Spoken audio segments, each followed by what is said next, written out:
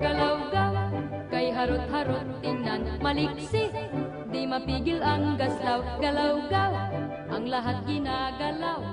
Napakaharot at pakialam. Siya Bilang ako ang punong guro ng katuruan mula pa noong 2012 na unang feng shui calendar ng Iglesia Tindig Katao, ay itinatala ko na ang lahat ng nangyayari mula January 1 hanggang January 12. Bakit? Kasi kung ano ang nangyari sa unang labing dalawang araw ng Enero, malamang na iyan ay mauulit katapat humigit kumulang sa labing dalawang buwan ng taon sa taong 2018. Ito ang mga naitala kong kaganapan sa Templo Tindig Katao, January 2 hanggang 8 bilang 18 Episode 1 ng Tindig by Etama Robles Forum.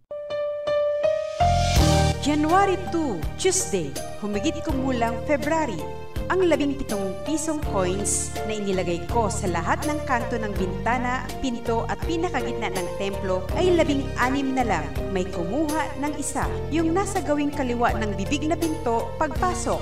Yung pares ng isang bibig isang matang bao na kininis ni JD at labing anim na piso coins, inilagay namin sa mesa upang kasamang mabindisyonan pagganap namin ng pansariling dasal sa umaga.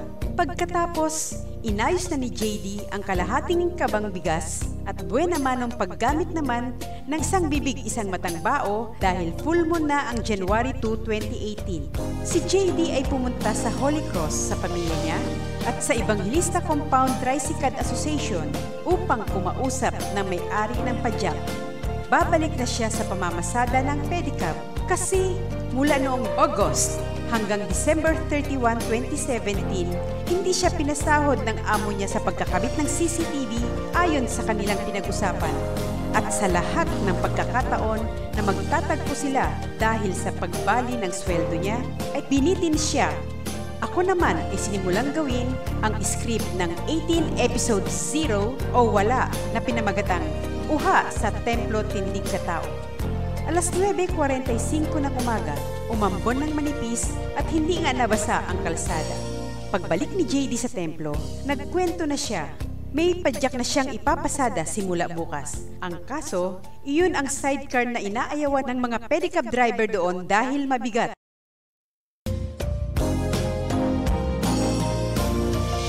January 3, Wednesday, humigit kumulang March. Biko at kaping binusang bigas ang almusal namin ni JD gumanap na kami ng pansariling dasal.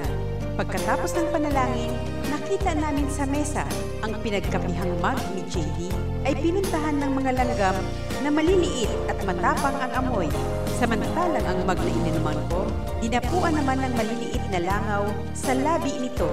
Pagbukas ko ng pinto sa exit, nakita ko ang apat na ibon na nanginginain sa harapan. Tinawag ko si JD.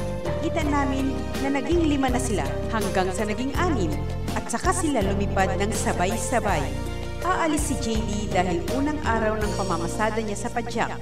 Habang papalayo na nakabike, inihatid siya ng tingin ni Kira, 5 years old, ang batang may luslos na nakatira katabi ng templo. Tinawag ko si Kira, pero tumalikod lang at ayaw lumapit. Hinayaan ko na lang ito. Sa templo, may apat na anak ng tindig na tumawag. Pinapasok ko at nagmanos sa akin, pero hindi sabay-sabay. Jumong, Tricia, Jonas at Hannah. Alas 4 ng hapon, kausap ko na ang tiya ni Kira tungkol sa isang bibig isang matang langis na panggamot sa luslos nito. Nagpahingi siya sa ina ni Kira ng pambayad sa langis, isang daan. Sa linggo ng gabi nila kukunin dahil titimplahin pa namin ni JD. Palihim, tinanong ko si Kira kung siya ang kumuha ng piso sa pinto. Tumango siya. At hinayaan ko si Kira na manood ng cartoons sa laptop kasama si Pia. Hindi nagtagal, nakatulog si Pia at si Kira ay tinawag na ng Pia. Nagbilin ako kay Angelo kapitbahay. Pag hinanap si Pia, pakisabi nakatulog sa panonood ng cartoons. Maya-maya'y dumating na ang ate at ina ni Pia. Binuhat ng ina ang natutulog na bunsong anak at iniuwi na sa bahay nila. Pag-uwi ni JD sa templo, may dalang isda at saging na saba, kinita sa unang pamamasada sa padyak. January 4, Thursday. Humigit kumulang April. Pagkatapos ng pansariling dasal namin ni JD, nagkwento ako ng panaginip ko kaninang madaling araw. Papunta ako sa kakilala ko sa bundok. Ang kalsada ay matarik at mabato na puti. Sa gilid sa kaliwa, naroroon ang medyo malalaking bato na pwedeng apakan na magsisilbing hagdanan. Bago ako umakyat, may pumaradang tricycle at bumaba ang taong taga doon sa bundok na aakyatin ko. Ang nakita ko lang ay kaliwang binti niya, malaki at mabalahibo, at umakyat na ako sa bundok. Pagdating ko malapit na sa taas, ay sobrang tadik na pabaliktad na C o kalahati ng U. Nakaakyat din ako, pero pagdating sa taas, tulala na ako. Hindi ko kasi lubos maisip kung paano ko nagawa iyon. Nasa loob na ako ng bahay ng kakilala ko, gawing kaliwa ng kalsada. Binati niya ako ng mabuti na karating ka. Kaso hindi ko sinagot kasi tulala pa nga ako. Nang pumihit siya pakaliwa para iwan muna ako, saka ako natauhan at sinabing, Ikaw pala! Tapos nagising na ako. Pero hindi ko nakita ang mukha ng kakilala ko, kaya hindi ko alam kung sino siya. Maikli ang buhok parang sa Dominican Grotto ni na Mami at Maya Gini. Pero sa panaginip, kilala ko siya. At umalis na si JD upang mamasada ng padyak. Natapos ko ang pag-e-edit ng December 15, 2017, balitaan sa Rembrandt Media Forum ni EJ San Juan, ang huling coverage ko ng forum bilang media sa taong 2017. Tinawagan ako ng Globe, reminder dahil sa overdue na ang postpaid cellphone ko na nakapangalan sa anak ko. Ang due date kasi ay December 31, 2017 pa. Kumatok si Tricia, bagong anak ng tindig, pero hindi ko sinagot. Dapit hapon pa lang ay dumating na si JD. Half day lang siya sa pamamasada dahil magpapausok. Pagkakain ng hapunan, alas 8.30 na ng gabi, ang sabi niya ay maiidlip muna siya bago maligo. Alas 9 na nang humiga siya. Habang ako naman ay itinuloy ang ginagawa sa laptop. Alas 9.15, nag-CR ako. Laking gulat ko nang may sumigaw na malakas. Paglabas ko ng CR, si JD pala ang sumigaw. Napabalikwas siya sa panaginip niya. Habang nakaupo, itinuro niya ang tarpaulin na green ng Pasko ng muling pagkabuhay at ikinuwento agad sa akin kung bakit siya sumigaw. Ang logong dilim at liwanag lumaki, sinlaki ng tarpaulin, natakpan na ang lahat ng nakasulat sa magkabilang gilid. May sinasabi yung dilim pero hindi ko maintindihan. Kaya hinigop ako nito at isinapi sa kanya, umikot ng bahagya, habang ang liwanag naman ay nakangiti at masaya. Dahil nga sa hindi ko maintindihan ang sinasabi ng dilim at nasasarapan na ako habang kasama siya, pinatulog ako nito, kaya tuluyan na akong nanaginip. At ito ang napanaginipan ni JD. Galing siya sa gawing south, nakabisikleta sa Quirino Highway, Barangay Bagbag, papuntang bayan Novaliches. Matindi ang sikat ng araw. Nakita niya may konting tubig sa kalsada na parang tagas ng butas na tubo sa ilalim ng kalsada. Pero nakadaan siya. Tapos, doon uli sa ikalawang ulit.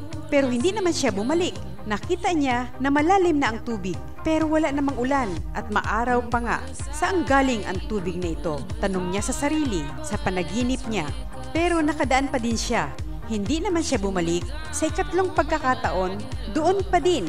Sobrang taas na ng tubig baha. Lahat ng sasakyan nakatigil na. Kaya binuhat niya ang bike, isinampas sa bangketa.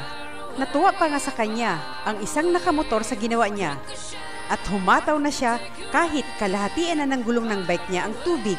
Sa paghataw niya, may nakausling salamin sa kanan na muntik mahagip ang leeg niya. Mabuti na lang nakailag siya pakaliwa. Kaya pinataas niya ang kanyang sarili upang tingnan kung hanggang saan ang malalim na tubig. At nakita niya na ang mga bakanting lote sa paligid ay matataas na rin ang baha. Nang may kumislap na liwanag, lumingon siya sa kanan. Nakita niya ang kislap ng pagsabog at malaking tubig na nasa himpapawid na. Kaya nagtanong siya, sumabog na ba ang bulkan sa Manila Bay? At may sumagot na malaking tinig, Oo! Ha! Ang sigaw niya. Sa sigaw niyang ha, kaya siya napabalikwas at bumangon. At yun din ang narinig kong sigaw habang nasa CR ako. Habang nagkukwento siya, naramdaman pa din niya ang subaybay nila. At naglinis na kami ng medalya, naligo na siya, dahil magpapausok ng alas 11.45 sa lubong sa first Friday ng January taong 2018. January 5, Friday, humigit kumulang May. Kape na binusang bigas at nilagang saba ang almusal namin ni JD at namasada na ng pedicab si JD. May pumasok na mga ibon sa templo.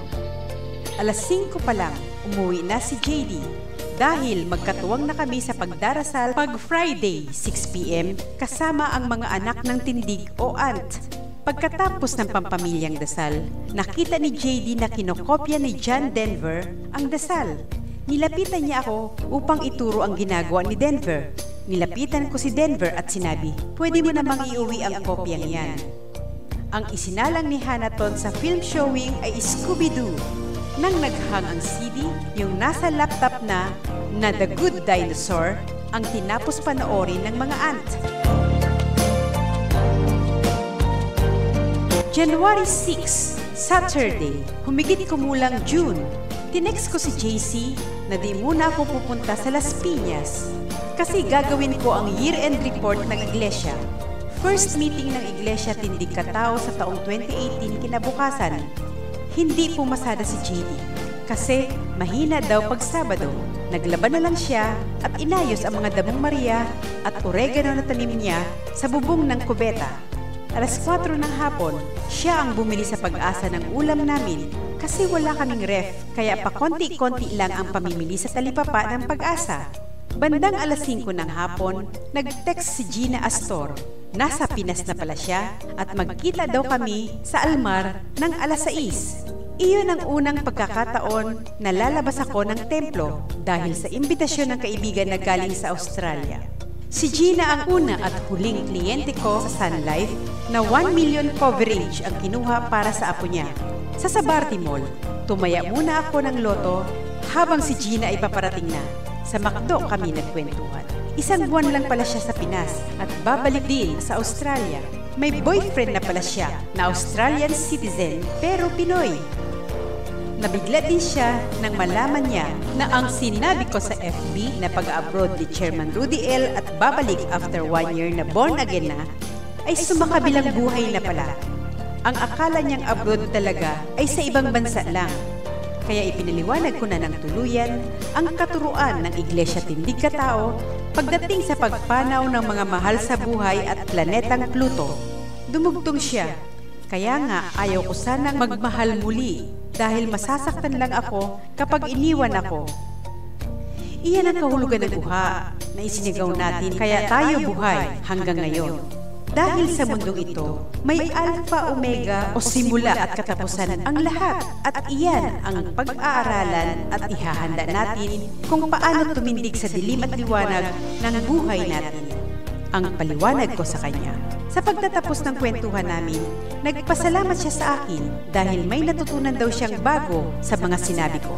Ang suot ko nang nagkita kami, ang pangtaas ay dilaw na dating t-shirt ko na regalo ng anak kong si Kate. At ang pambaba ay ang suot ko noong January 1 nakakulay ng paru-paro.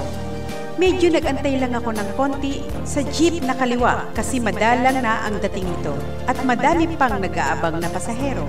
Pagdating ko sa templo, sinabawang isda ang niluto ni JD na hapunan namin. Hindi na ako nagkanin kasi may kanin na yung in-order ni Gina na merienda namin. Habang pinapapak ko ang ulam, nagkwento ako ng nangyari sa pagkikita namin ni Gina